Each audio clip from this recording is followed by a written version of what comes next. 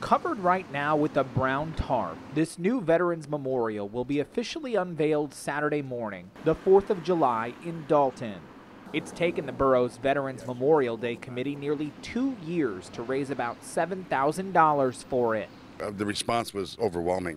Uh, checks were coming in, and the people were wanting to support this project. This is an artist's sketch of what the new monument will look like. It will honor the men and women from all wars who have served. The civic pride in this small town is, is really pretty tremendous. Meyer Patel is the owner of the Dalton Pharmacy.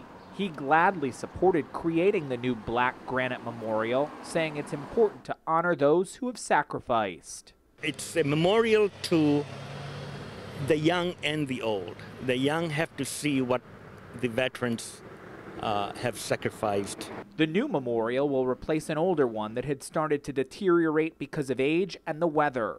It will be located right between the fire company and post office. The previous sandstone monument was buried right below the new one.